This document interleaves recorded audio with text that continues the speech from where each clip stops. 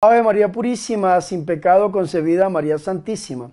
Mis hermanos y mis hermanas, Dios les bendiga, la Virgen María les guarde siempre, con su amigo sacerdote y servidor el Padre Bernardo Moncada. Bienvenidos a mi programa La Buena Nueva, para hoy lunes 6 de febrero. Recordemos que celebramos la memoria obligatoria de los santos Pablo Miki y compañeros mártires. Yo los invito a que escuchemos la buena nueva.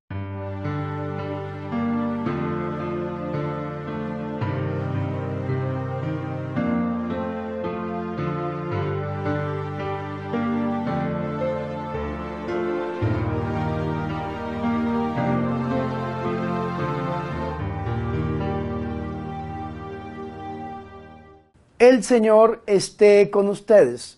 Proclamación del Santo Evangelio de nuestro Señor Jesucristo según San Marcos. En aquel tiempo, terminada la travesía, Jesús y sus discípulos llegaron a Genezaret y desembarcaron. Apenas desembarcados, lo reconocieron y se pusieron a recorrer toda la comarca cuando se enteraba la gente dónde estaba Jesús, le llevaba los enfermos en camillas. En los pueblos, ciudades o aldeas donde llegaba, colocaban a los enfermos en la plaza y le rogaban que los dejase tocar al menos la orla de su manto, y los que lo tocaban curaban. Palabra del Señor.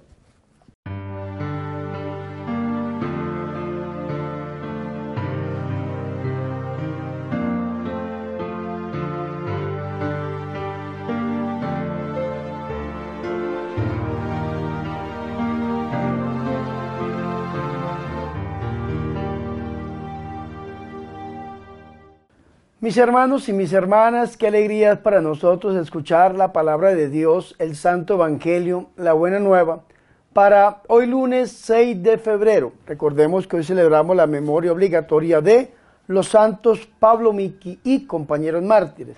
Y por esta razón, antes de entrar a la meditación del Evangelio escuchado, vamos a leer un poco lo que nuestra revista litúrgica dice acerca de estos santos mártires.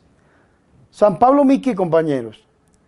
El 5 de febrero del año de 1597, en Nagasaki, Japón, fueron crucificados 26 cristianos, misioneros jesuitas y franciscanos religiosos, japoneses como Pablo Miki y 17 laicos, entre ellos catequistas, intérpretes, médicos y niños.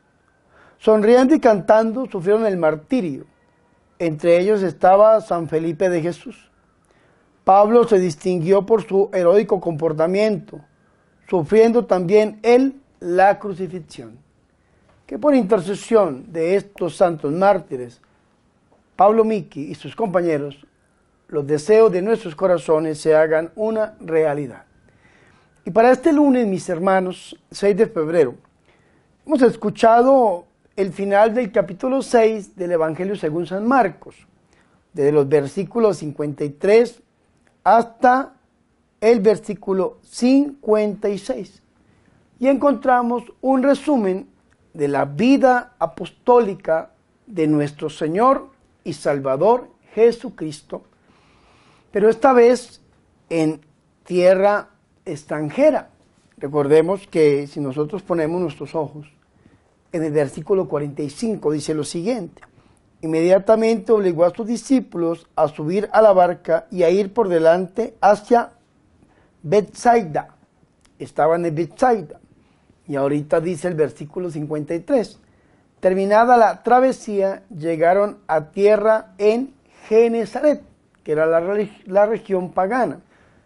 Recordemos Marcos, en el capítulo 4, versículo 35. El Señor le dice a los apóstoles, pasemos a la otra orilla. Entonces se suben a la barca y pasan a la orilla. Y dice el 5.1. Y llegaron al otro lado del mar, a la región de los Gerasenos. Y allí el Señor hace un exorcismo en un hombre que vivía en medio de los sepulcros. Pues el Señor Jesucristo vuelve a tierra extranjera a Genezaret. Y allí, dice la Jerusalén, atracaron, es decir, allí desembarcaron. Y al desembarcar caemos en la cuenta que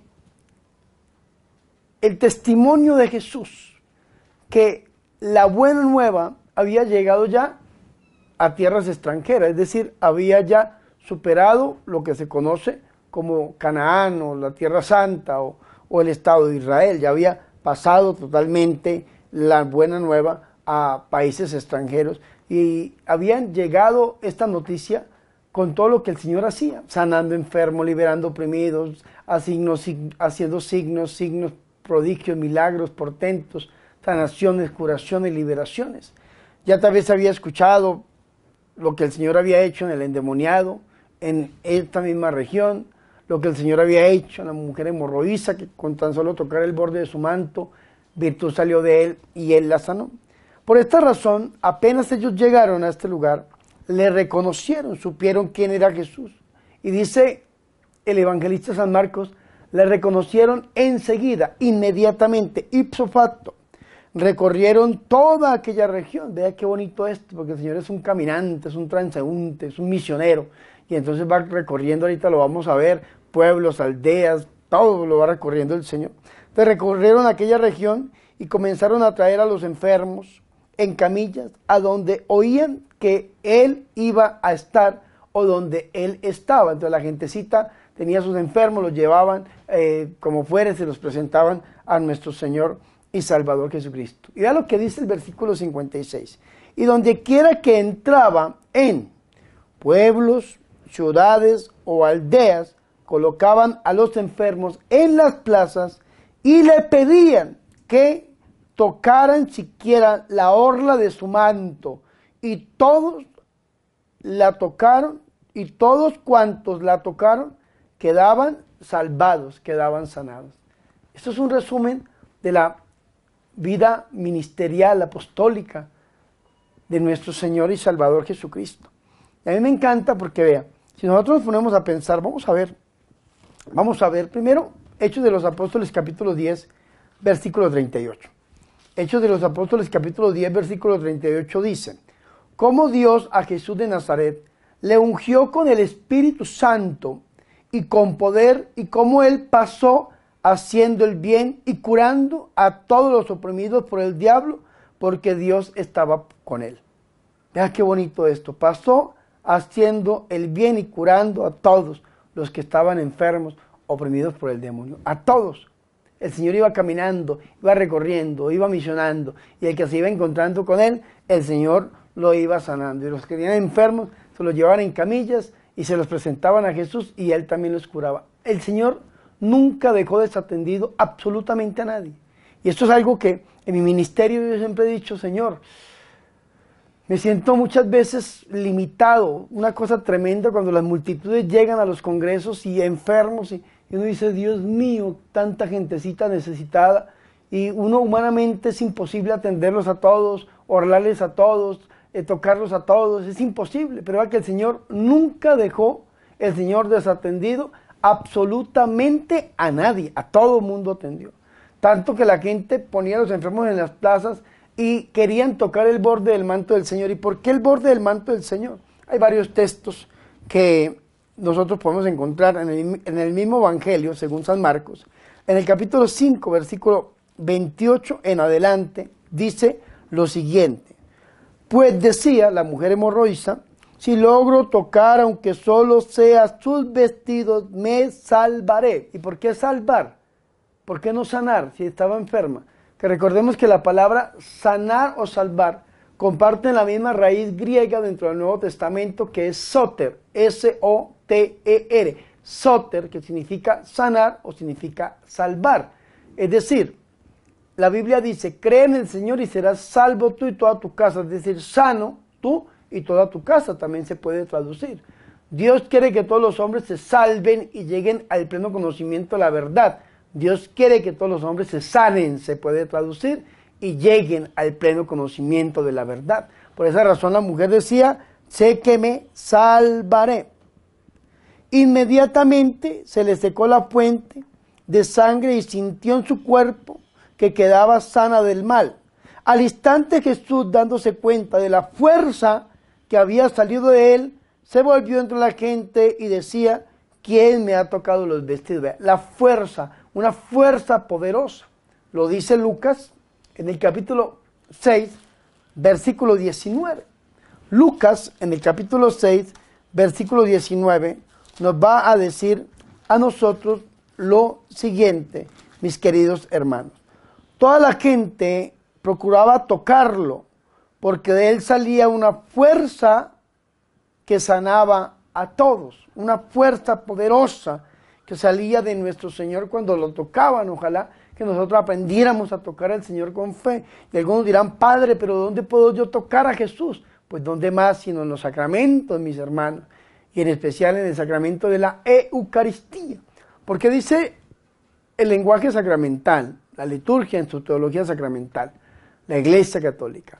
Todos los sacramentos nos comunican la gracia de Dios, la vida de Dios que ha sido de una u otra manera menguada por el pecado.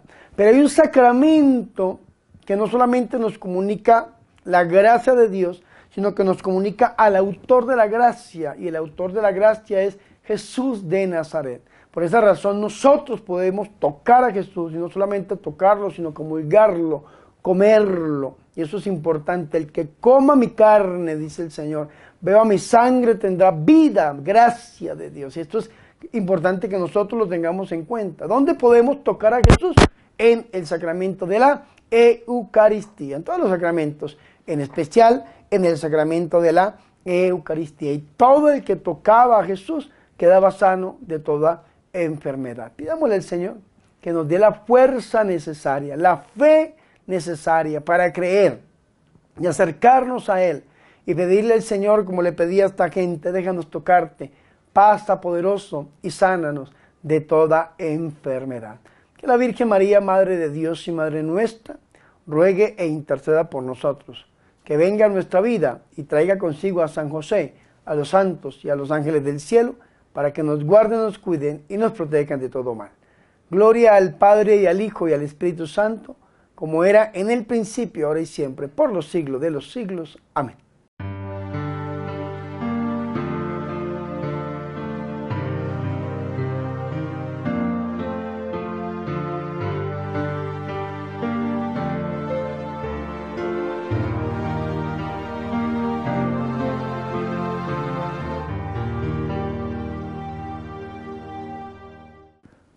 Mis hermanos y mis hermanas, yo los invito a que hagamos oración.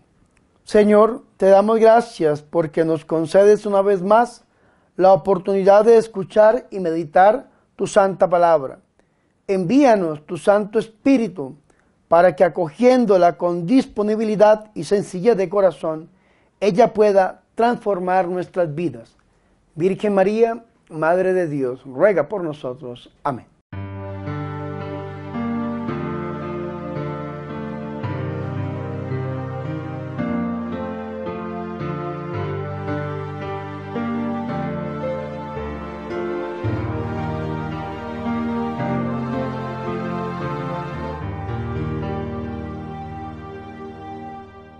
Mis hermanos y mis hermanas, hemos llegado al final de este programa La Buena Nueva con su servidor, el Padre Bernardo Moncada. Para hoy lunes 6 de febrero, recordemos que celebramos la memoria obligatoria de los santos Pablo Miki y compañeros mártires.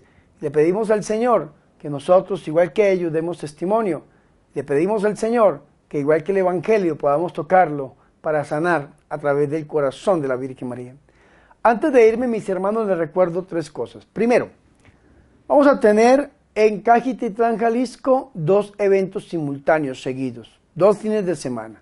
El primero es 11 y 12 de febrero y el segundo es 18 y 19 de febrero. Los dos van a tener lugar en Cajititlán, Jalisco, más exactamente en el fraccionamiento Tres Reyes. Desde la mañana hasta la tarde nos vamos a encontrar para pedirle al Señor que pase poderoso, su fuerza poderosa, y nos sane a todos. Recuerden, en Cajititán, Jalisco, 11 y 12 de febrero, 18 y 19 de febrero. Segundo, le pido el favor reiterativamente, suscríbase a mi canal de YouTube, regáleme su suscripción Y si les alcanza, vayan a las otras redes. Vayan a Facebook, vayan a Instagram. Y también regálenme ustedes su suscripción para seguir adelante con esta misión que el Señor nos ha encomendado. Tercero, recuerden la campaña Un dólar para la evangelización. En pantalla hemos dejado las cuentas bancarias, los medios digitales para hacer donaciones y pagos, sobre todo PayPal, que es un medio que me encanta mucho porque es muy fácil de utilizar. Yo les digo, por favor, extiéndanme un dólar una vez en su vida para la evangelización. Recuerden que estamos construyendo la granja La Inmaculada. Recuerden que estamos evangelizando a través de los medios de comunicación social. Recuerden, mis hermanos, que estamos haciendo caridad a aquel que lo necesita. Y todo esto se logra gracias a su ofrenda. Y como dice la Biblia, el que viva en el altar, que viva del altar. Así que por favor, extiéndame esa ofrenda voluntaria. Y yo oraré por ustedes para que el Señor los bendiga siempre al ciento por uno. No siendo más, mis hermanos y mis hermanas, yo quiero impartir sobre ustedes la santa bendición. El Señor esté con ustedes. Y la bendición de Dios Todopoderoso, Padre, Hijo y Espíritu Santo, descienda sobre ustedes y permanezca para siempre. Amén. Por favor, recen por mí. Recuerden que soy el Padre Bernardo Moncada, su amigo, su sacerdote, que yo soy su servidor.